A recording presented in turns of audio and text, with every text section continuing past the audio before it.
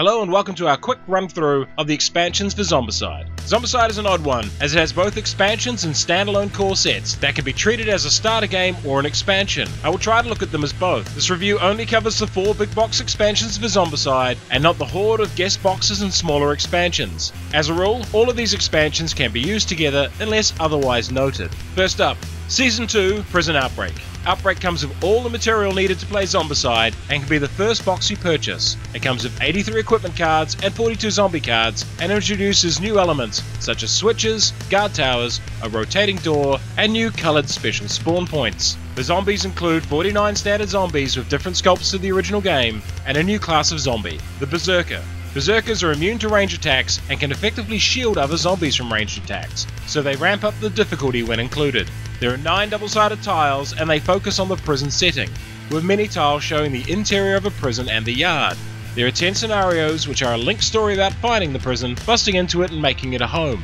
The scenarios only use material from this box. There are six characters included in this set. My favourites are Shannon, as point blank is a very handy starting skill, and Belle, as fast moving characters are almost always useful. The game also introduces zombivores, which are versions of your characters who have been bitten and turned, but somehow retain their minds.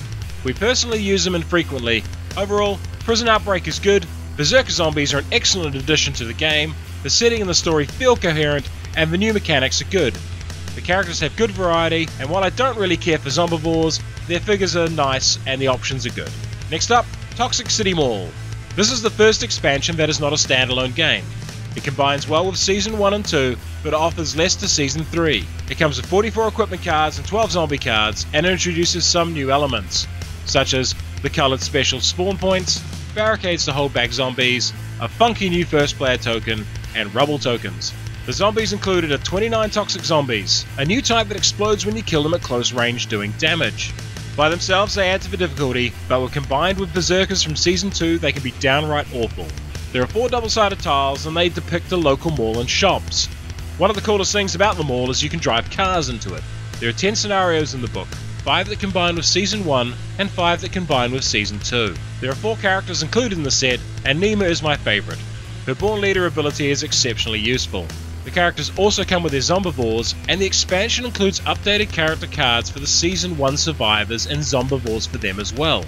There is also the introduction of Ultra Red mode, where your characters can continue gaining skills and XP past red level and unlock ridiculously over the top weapons. I'm a big fan of this game mode because it adds a ridiculous level of ultra violence to the game. If you have Season 1 or 2, Toxic City Mall is the first thing I would get next. Toxic zombies are a great addition to the game Ultra Red mode is hilarious, and the missions in the book are fun. Next up, Season 3 Rue Morgue.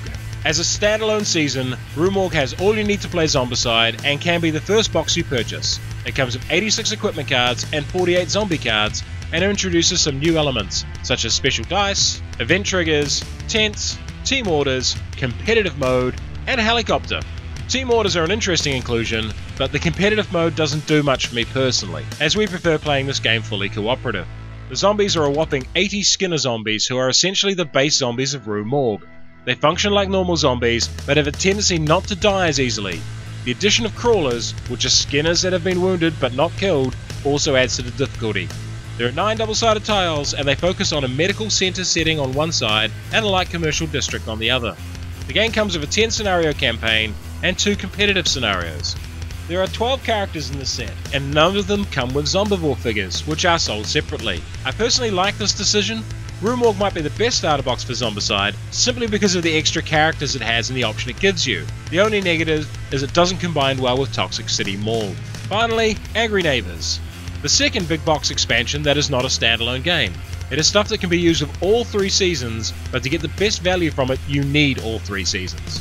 It comes with 27 equipment cards and 12 zombie cards and has the following extras damaged buildings, barricades, and companions.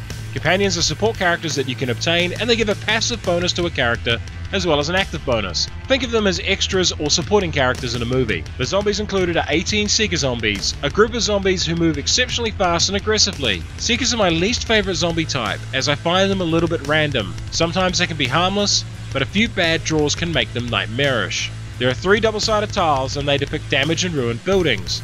Tiles are okay, but the highlight of Angry Neighbors is that it comes with 15 scenarios, 5 compatible with each season.